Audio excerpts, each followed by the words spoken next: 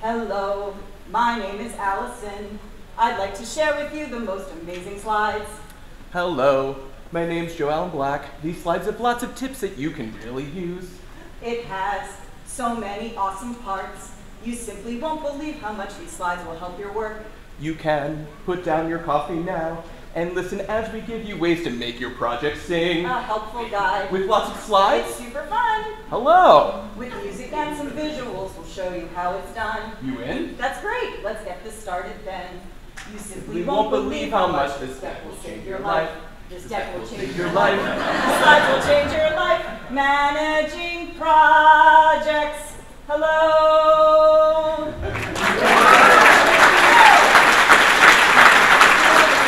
Are we really doing this? We are. Yes. Well, hello. My name is Joe Allen Black. I'm a senior project manager and web strategist at Palantir.net. And I'm here to talk a little bit about how we run projects from start to finish as project managers. Now, really great musicals tell the story of some kind of journey. Sometimes it's a love story, but more often than not, it's a story of overcoming some kind of odds and obstacles to make something really great happen in the end. And if you think about it, is that really what all of our Drupal web projects really are when we think about it? Musicals just have this really, really great way of using song and a little bit of dance to advance the plot. So it only seemed natural that we would want to take a musical to talk about project management, am I right? So over the next hour or so, we're here to talk a little bit about different types of communication, give some tips, and a couple of different tools that you can use to better manage your own projects. Now, if you're not a big Broadway fan, don't worry. We'll let you know when it's time to, to sing along. And we promise that in addition to being very, very musical throughout the entire thing, we're also going to be very, very informative.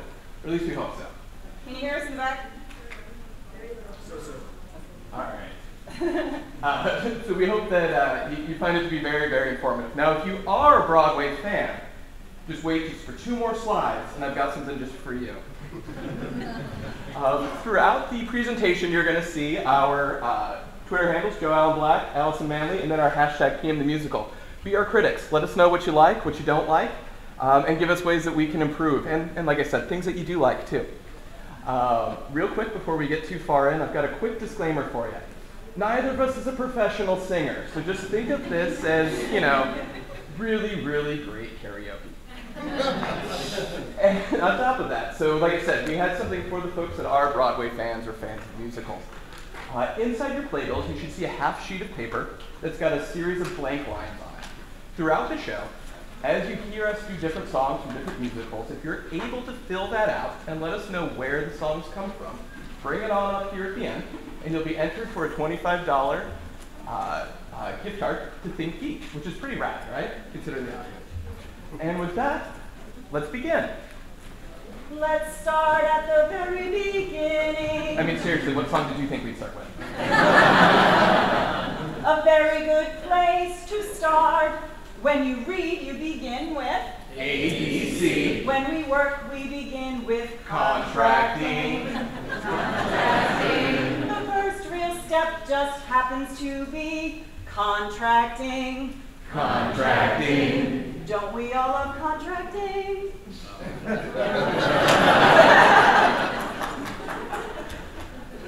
So this is Allison. She's going to be the heroine of our story. Think of her as Julie Andrews in every story that you loved growing up. Except for she doesn't really skip with the guitar or go up, you know, uh, uh, staircases backwards. She talks more about sprint points, velocity, and Jira. But other than that, it's almost kind of sort of the exact same thing. Uh, so Allison has just been assigned a new project. What is the first phase, the first thing that she needs to worry about in, in this project? We totally just sang about it. Contracting, yes.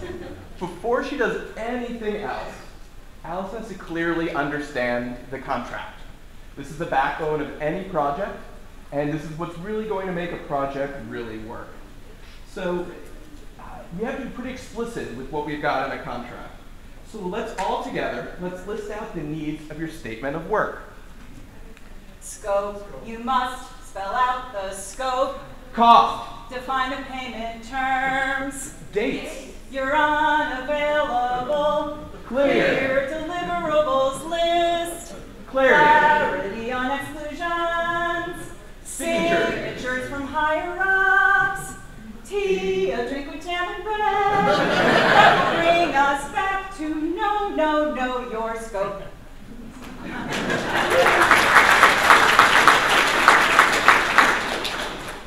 With any agency or any project, generally you're going to have a contract that again is going to be the backbone of what you work on. Your contracts might be structured a little bit differently and they might have different phrases, but generally here's some key features that, again, they might have a different word, but key features that you want to make sure as a project manager before you do anything else, you clearly understand what these items are.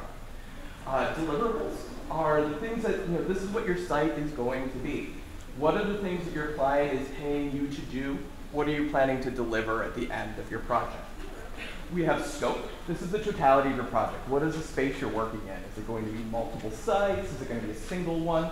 Know your scope. Uh, just as important as knowing what's in, it's also knowing what's out. When your contract was drafted, there's a good number of things that might have been excluded for whatever reason, cost, time, resources. Uh, something might have been excluded. And knowing that up front, as you're building your project plan before you get too much further, it's really important to have a clear idea of what's out, just as much as you know what's in. Also important are knowing the assumptions. There was a cost and a price tag probably put on your contract, and some of that was baked with the idea that certain things would be in, certain things would be out. Some things would be easy, some things would be really hard. Having a clear idea of what those are as your assumptions up front from your, your scope of work or from your contract is very, very important. And documenting those things as you move throughout the project. Definitely something that's easy to forget as you get in, so definitely make sure at the beginning of your project you have a really clear idea of what that is. You also want to know the schedule. Somebody somewhere determine the project's going to be 28, six months, a year and a half project, whatever it happens to be. Make sure that you have a clear idea of what that schedule is, so that way you can make sure to deliver at whatever timeline was originally estimated. And we all like to get paid at the end of the day. So make sure you know what those payment terms are. Are you having something where you have to do a series of milestones? Uh, are you on a, a, flat fee? Whatever those payment terms happen to be, you want to make sure as a project manager you know what those are. You're lining those up and your project plan works accordingly as it's originally approved. We then need to make sure that as project managers, once we know what's in that contract, we're very, very organized. We still haven't brought our team into place yet. We probably haven't made a lot of contact as a project team with our client. So it's really important that we make sure that we get very organized. Think of it as starting a quest. Lord of the Rings, Fellowship of the... That's way too many metaphors, so I'll stop that train. But we want to make sure that Allison's able in this project that she was just assigned to create an atmosphere of transparency and collaboration throughout the project. At Palantir, we like to use Jira. Uh, it's a great system to be able to organize at a very granular level and then also at a higher level so people can see what's going to be delivered and when. We also use Redmine in the past, which is a similar ticketing system. Uh, I've used on projects before Trello, begrudgingly use Basecamp. Um, uh, there's various other ways as project managers we can make sure that everybody has an understanding of what all the work needs to be and how that work is going to be handled. So making sure that you have that tool set up and it's in place for everybody right off the bat is a huge help. I'd also like to immediately start a risk log. So those things that we had as assumptions or things that were exceptions, making sure that that's all documented. If something goes wrong, what's our mitigation strategy? The beginning of a project, it's a lot easier to figure out, well, if this feature blows up, what are we going to do? Um, so making sure that you have those things documented in a visible way right off the bat is great. You also want to make sure you're tracking your time. Um, and you definitely don't want to bring team members on where it's the first meeting they're trying to figure out where to log the time for that meeting. Uh, so making sure to set that time tracking up initially is great. A project manager is going to be a key person for communication.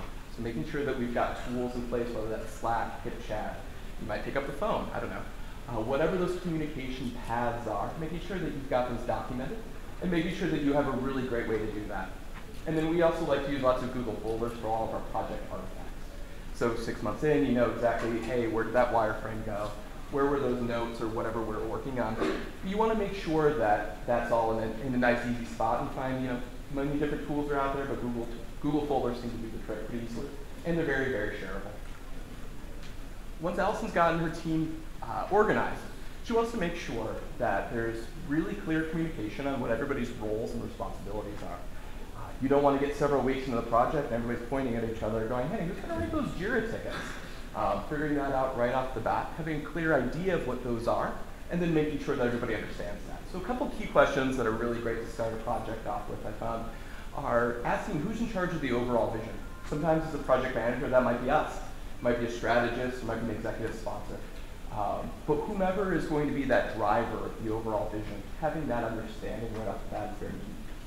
Uh, getting back to the user stories, who's going to actually sit down and write those? If it's a year, year and a half long project, that's going to be a lot of user stories. Probably want to budget some time in for that and know who has to do that, or which team is going to do that. Um, are we going to be having sprint schedules, and then also, do we have the resourcing in place? Can we make sure that everybody has everybody has the amount of time they need to do the work that they expect to do? So getting back to this project, it's an end-to-end -end project that Allison was just assigned. It's a higher ed client. We're going to have a six-member team. And halfway through, we might decide, I don't know, to call it an intermission. Halfway through, we're going to have a little bit of a break. And then we've also got a team member who's going to be on vacation pretty soon. Um, so now that Allison's got all of her ducks in a row, she understands her contract, she's prepared for all the work that's to come. There's a schedule for feds and designers. I got dashboards set up for my client. My spreadsheets are fly and they're on Google Drive. And I'm told the deposit check finally arrived. oh, what an organized project. Oh, what a beautiful day. I've got a wonderful feeling this project will be okay.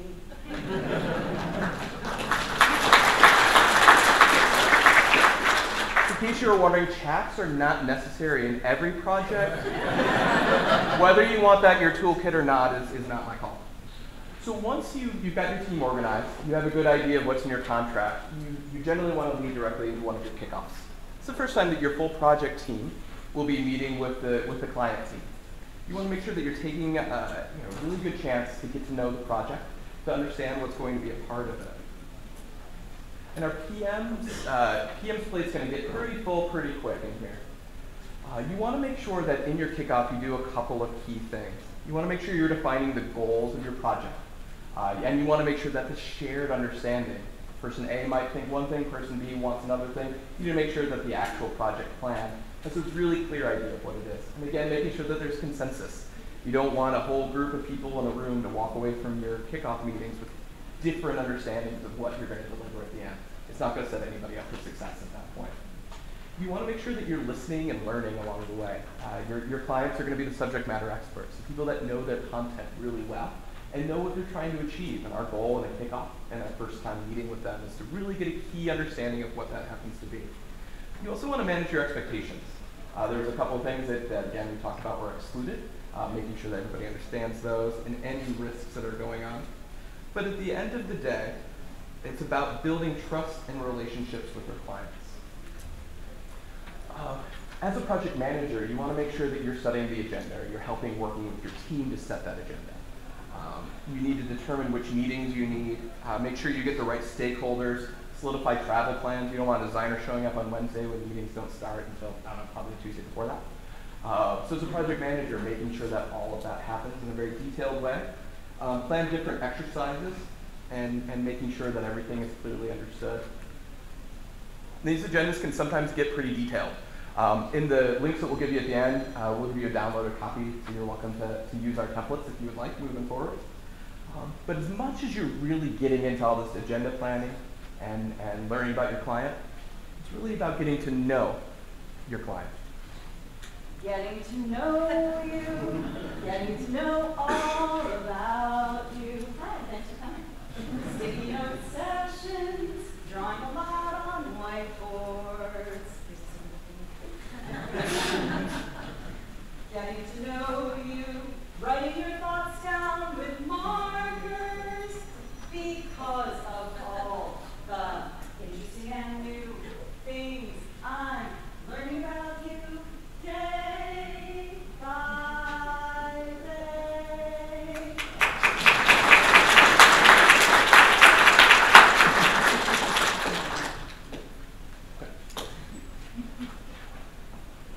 A couple different exercises that we're going to do as a part of uh, most of our on-sites. My favorite is empathy mapping, which Allison just sang about.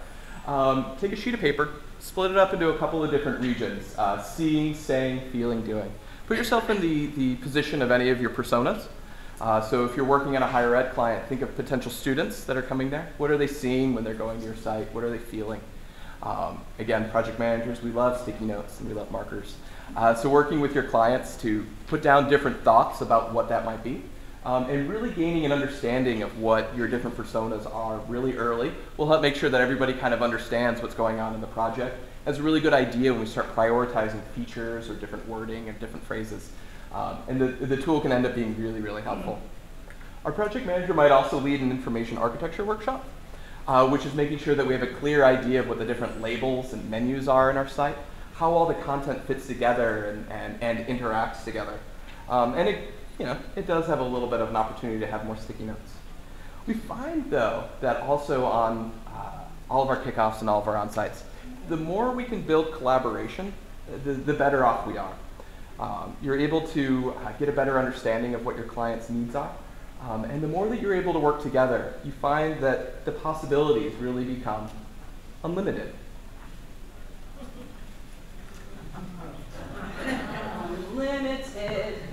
Together we're unlimited. Together we'll be the greatest team there's ever been. Joe, sights the way we planned them. If we work in tandem, There's no site we cannot build. Just you and I building this website. Just you and I building this website and getting it to launch. I'm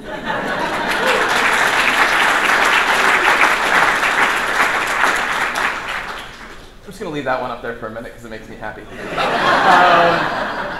um, so we started off small at the beginning, talking about you know very beginnings and getting to know your client. We broke up into a series of big exercises, empathy mapping, architecture workshops.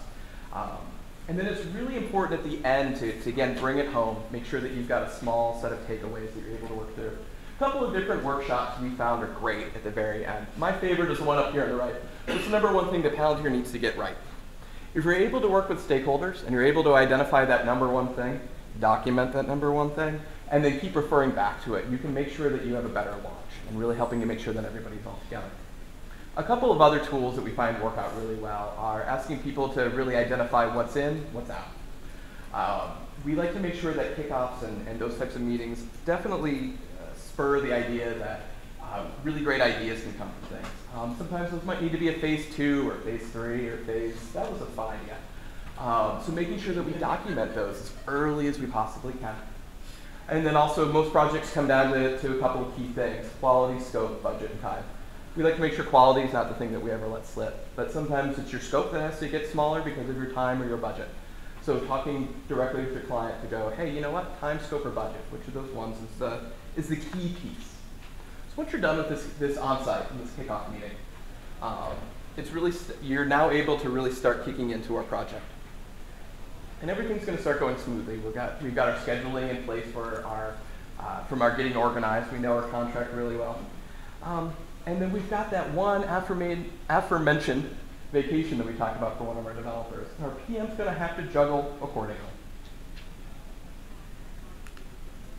You're going to Argentina. I'll have to make some adjustments throughout the project. With my persistence, we'll meet our deadlines despite your distance.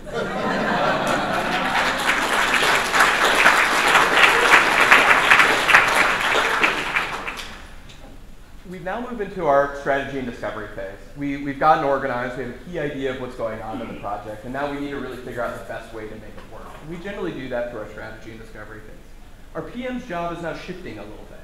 Uh, we tend to have a strategist who takes much more of the lead in this, in this phase of a project. So our PM's job is really making sure that she's able to remove blockers and she's able to keep the team moving. A couple of different tasks our team, team members might be doing uh, might involve content strategy, auditing all the content to see what we got, uh, working on taxonomy or user mappings. Uh, we might start working through Google Analytics uh, to see different data that are on the site and how, they're, how users are interacting with the site as it is right now. Uh, we might start working through usability testing and different surveys of the audience. And if, if clients have past research, definitely want to be able to dig into that. Our development team might also start working on some foundational development work, making sure that we're able to start the project when we're able to have the specs. Um, and also starting to figure out what different fields and different definitions might be a part of the project. Our PM during this, and you're going to hear this a few times as we move into other phases, but our PM's job is making sure that uh, she's able to help the team gather the data they need. Um, also making sure that uh, she's able to help analyze that feedback from the client, uh, making sure that there's uh, unblocked problems, really keeping things moving along. For this project, we're working on a higher ed client. Uh, we know that there's going to be a couple of key performance indicators, or the main things the main jobs of this website. Um, for a higher ed client, often these tend to be how do we make it uh, a pathway to applying online, signing up for campus tours, filling out financial aid forms. Um, it's important to know all these things at the beginning of a project, exactly the jobs we want the site to do. Allison knows a lot about higher ed space, so she's in a good spot to measure, measure the project. 525,600 minutes, 525,000 users each night, 525,600 minutes. How do you measure your KPIs in bounces, in sessions, in page views, in traffic entry, in exits, in brand or type of device. 525,600 minutes. How do you measure your KPIs? Portions of time.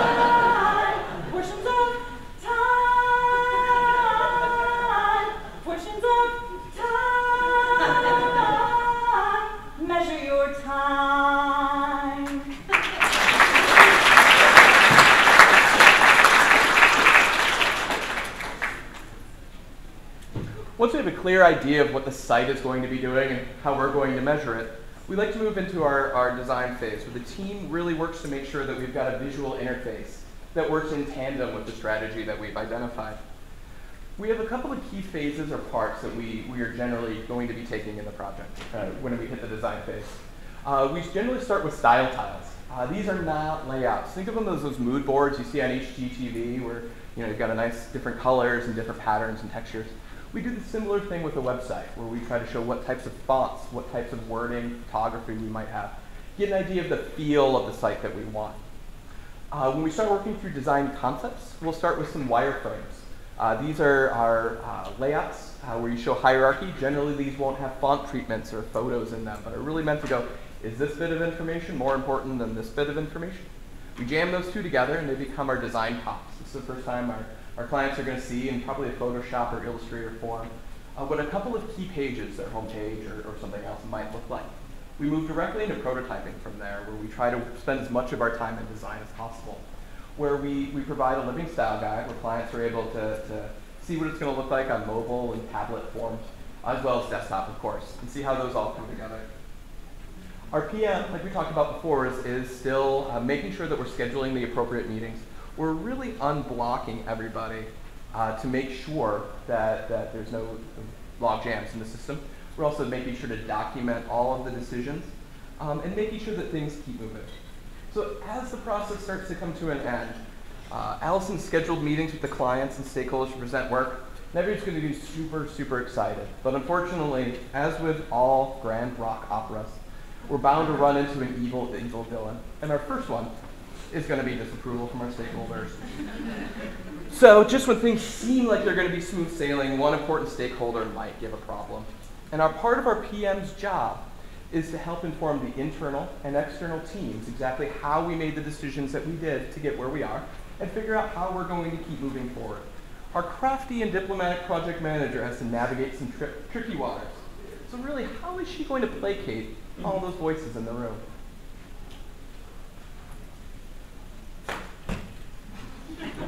Our client seems to have some fears that our direction isn't clear.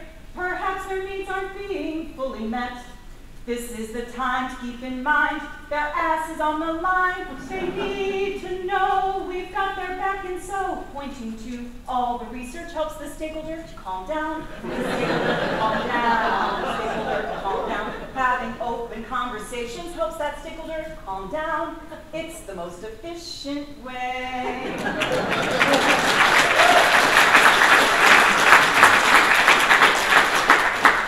That one's my favorite. Once we've gotten over that hurdle, the design phase is complete, the client is happy, and we're time for that, that break in the middle. What did we call it? Oh, that's right, an intermission. intermission. I don't about the people in the back. Worry about the people in that. Yeah. I'll say mine. I'll try to talk over. How's Hank? Is he good? He's doing well. Yeah. Before we got here, I was watching him a doggy daycare on his doggy cam. I'll show you later. Yeah, I'd love to see it. That'd be awesome. We probably should get started again. The client's not back. They're not back yet. Okay. Hey, they're back. Oh. All right. All right, last time on Project Management the Musical, we started by understanding the contract of our project. We moved directly into a kickoff and on-site meeting where we really tried to gain consensus and really get to know our client. Moved into a strategy and discovery phase uh, where we learned to measure, measure the site. And then uh, we moved into a design phase where we might have needed a little bit of sugar to help the, the, the project go down, but uh, we were able to get through that with our crafty and diplomatic project manager. So now we're ready to move into the next phase of our project, which is the development phase, where we're going to build the dang thing. Allison is now starting to work with our team to make sure that we're clearly organized to, to start setting up all the development processes and to make sure that we're able to start moving forward. And this is really where our lead engineer and the development team really get to strut their stuff.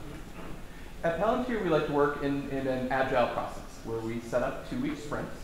Uh, we determine about how much work we can get done in that amount of time, work with the client to prioritize that work, work through a two-week sprint where at the end of that, we've got a demo, and then we're able to work with the client to get immediate feedback. And what we find is this really helps to make sure that we're we're not too far off track. We're not building anything they don't need, or we're not showing something that's that's wackadoo. Use a bad word.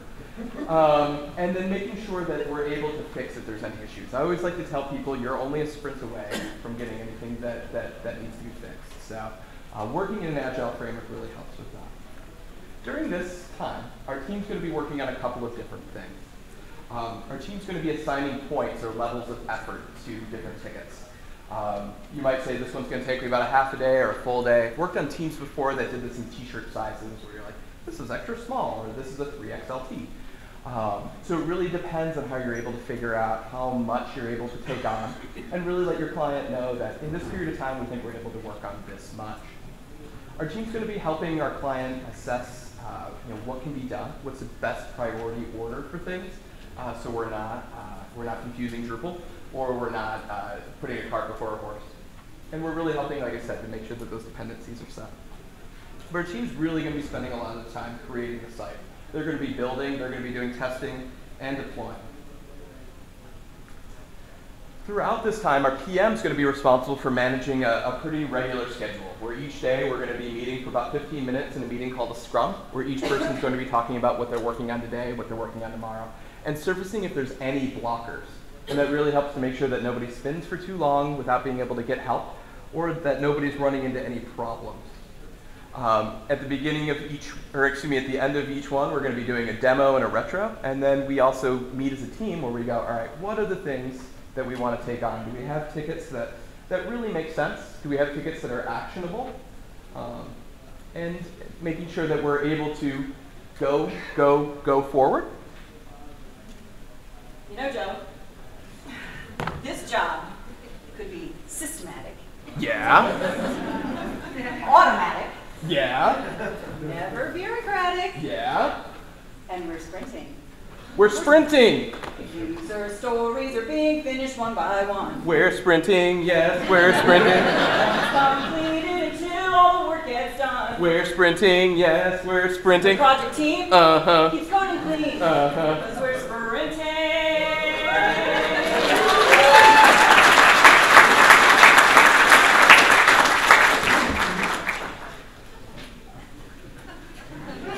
Our client during this time, while we're singing and doing whatever that is, uh, will be helping to set acceptance criteria. How do we know that, that this particular ticket is done? Um, you want to make sure that that's documented early, so that way you have an appropriate level of effort on it. And when you're having conversations with the QA team, you're having conversations with anybody, you know what you're aiming for. We'll begin with the end in, in mind. Uh, you, the client's going to be prioritizing value. Sometimes it might be more important to have a certain type of page completed before another one. And that's not something that's as easy for us on the, on the agency side to be doing. Um, it's really something we want to make sure we're helping the client be able to provide what value there is. Many times our clients will be doing internal demos. Uh, we'll, we'll do one as a team and we might do a couple of follow-ups, but there might be dozens and dozens of stakeholders and our, our client team might be really helping out with a lot of that. And in the best projects, we find that we have our clients working in our daily meetings. Um, the more that they're interacting and they see what's going on in a project, the better that we're all able to work together to make sure that things come together. But again, we're going to run into another villain in this Ragnarok uh, This time it's going to be scope creep. This is what's going to happen when our clients try to pack just a little bit too much into a project. Um, and our PM and our lead developers really need to be on their toes to make sure to watch for this. Uh, they might need to go back to some of that documentation from the very beginning where we laid out a lot of things that were in and out. Um, so how does Allison really work through this? Uh, sometimes she might refer to the SOW.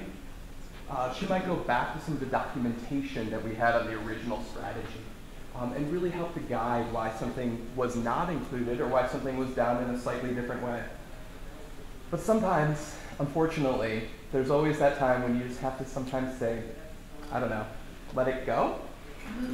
Out of scope, let this creep anymore. Out of scope, out of scope, lack of funds you can't ignore.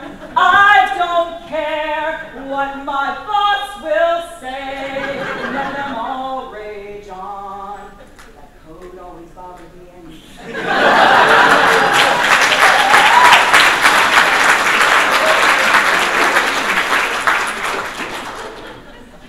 At this point, we've been on the project for a decent amount of time, right? That contract in the very beginning was weeks, maybe months, sometimes years earlier. Um, so the team's got to keep moving, and Allison, as a project manager in this, has to be that cheerleader, that person that's helping drive everybody moving forward, helping everything continue going on, making sure that we're still communicating well, we're still documenting what we need to have, and that we're not putting up blockers, and that she's able to help knock those down and make sure the project keeps going forward. But alas, it's bound to happen, especially just before you're about ready to launch something. It's definitely going to happen. One of our engineers is bound to get sick. It's going to be heartbreak, and Allison's going to have to manage the project with fewer points and just as many expectations. Oh, Kenny, you've caught influenza. Oh, Kenny, and suddenly this sprint will never be Amen.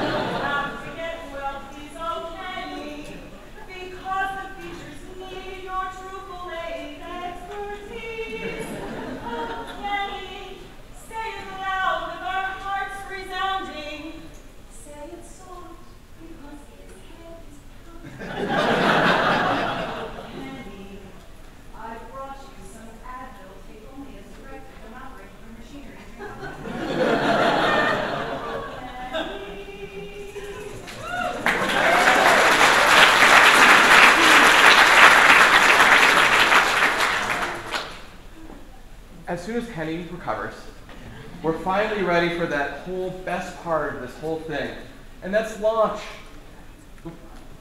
Launch. so thankfully, after we battled all that scope creep, we've gone through so many different phases since the very beginning of this thing. And we're able to talk about this loud, proud, and high above the pride. And can you feel the love tonight?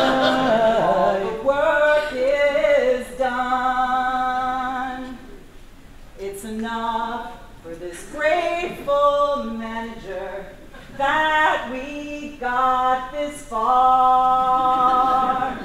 And can you feel the love tonight? Tonight. finally rest. It's enough to make clients and engineers be grateful for each test.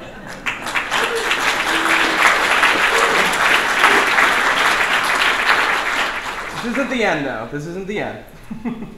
Project manager still has one very, very important thing that she needs to take care of, and that's making sure that we have a team retrospective.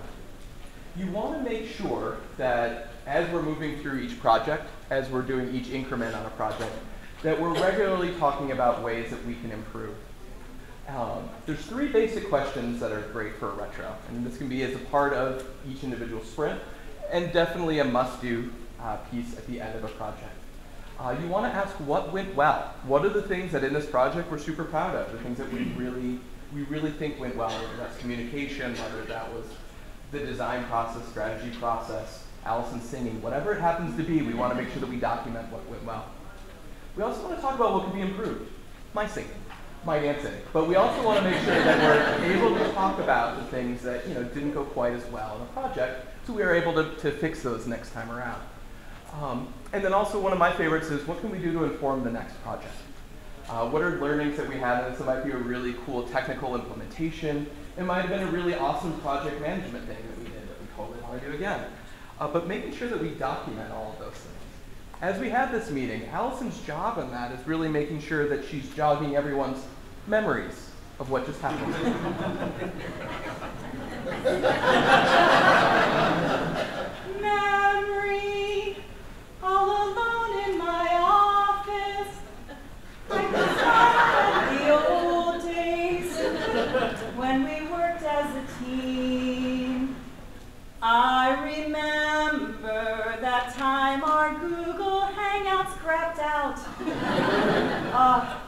memories, such a dream.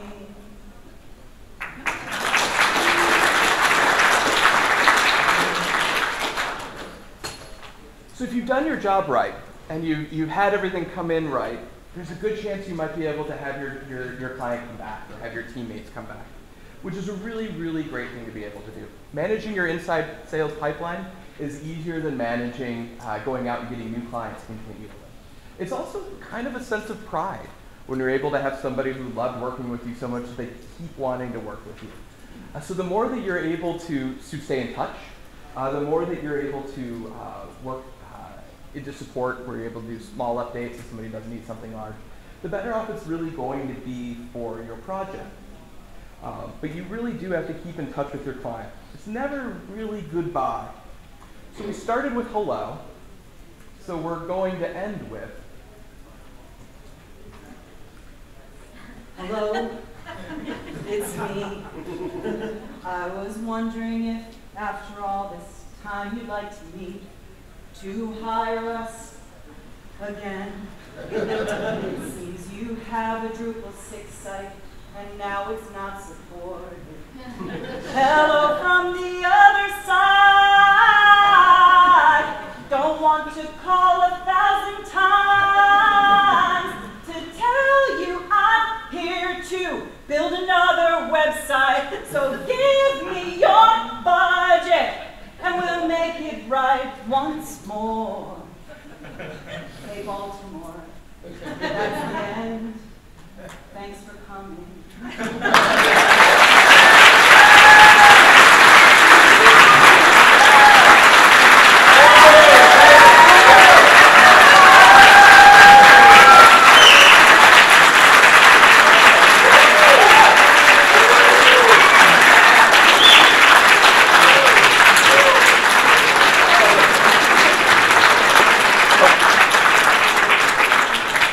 And we do have, if you go to our Drupal, our, our, our, session page, you can download our agenda, risk log, content audit.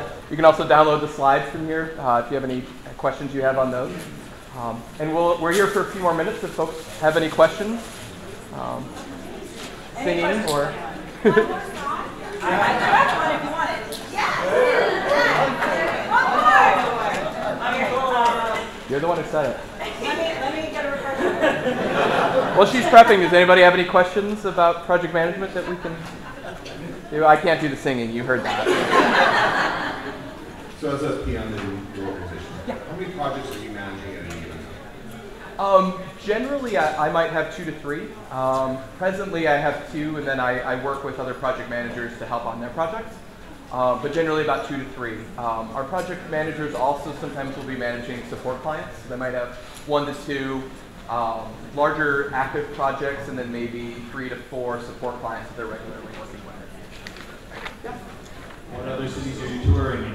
this is our finale, I Our believe. finale, As So, far as I know, yeah. but there, we're on the internet as everything is. So. So one of the big project challenges that I've run into at a bunch of different organizations doesn't come from the client side, rather it comes from the, your, the rest of your organization.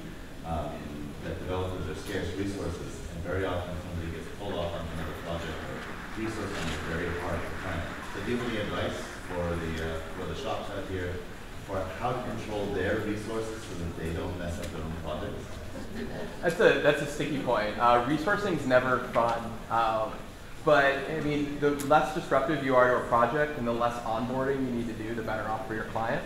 Um, what I what I like to do is, you know, if I am going to lose resource lose resourcing on a project or lose people, um, the best thing you can do is just be as open and transparent as you can. Like, hey, we're losing Allison on this project for a couple of days. Um, our we, our expected output for this next sprint is going to reduce by this amount. Um, you know, we can look at other ways to augment staffing, maybe at a later sprint, or we can extend the timeline depending on again that, that project management triangle of time, scope, budget, whichever one's adjustable. Um, often if, if somebody gets pulled off, it's hard to be able to pull anybody on. So it really just kind of becomes one of those conversations that you have to have in your project of do we do we reduce our scope, do we elongate our timeline, or do we look to bring other resources in? So it's never a fun set of questions, or never a fun topic, but that's the best way you can do it. I found. You uh, Want to do the encore? go I, for it. I, I have a bonus song since it's DrupalCon, just in case. So, all right. We were gonna open with it, but we got scared to change it up. Yeah, we, we, we, this was gonna be our opening. All right. Oh, oh, oh, look at this room, here to uh-huh. consume some skills today. Oh, oh, oh, I've got my props and my partner Joe. I'm ready to go. Our hashtags are sweet and helpful when you tweet to tell DrupalCon that our session rocks. And oh, oh, oh, visit our booth so you can get some cool Palantir socks. Good morning, Baltimore. That developer there by the door. And that strategist dressed in green is here to learn how I run my team with project management, with some music and visual fun. We're gonna teach you with glee. Joe Allen Black and me.